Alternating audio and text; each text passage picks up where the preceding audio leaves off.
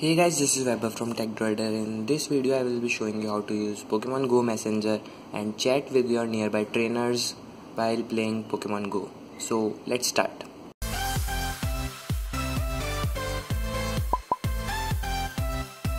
Pokemon Go application and here's the Pokemon Go Messenger application. You can download both of them from Play Store or from APK Mirror. So let's open Pokemon Go Messenger.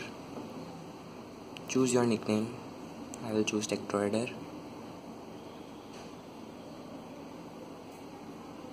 Let's go. Go Messenger is a location based chat. You can send message whenever you want, but you can only receive message within a certain radius, which you can choose. Let's go. Let it retrieve the location till then. I will do it on another smartphone. I have to choose the nickname. Let's above. Let's go.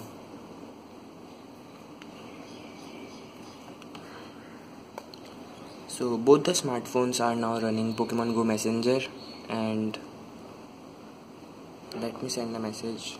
Hi.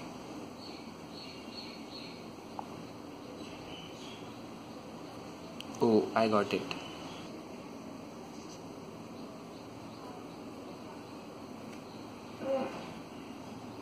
you can see the name Vaibhav and TechDroider there. Let's try sending location.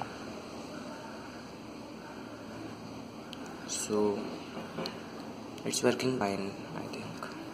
So these are the application you can use by playing Pokemon Go and here's the floating icons of these application. You can delete them like Facebook Messenger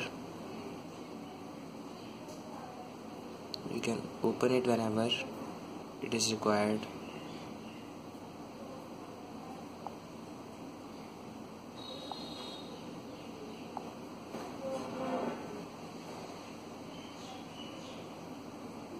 So here we go. I am using two different accounts of Pokemon Go on both of the smartphones and this is the Pokemon Go Plus application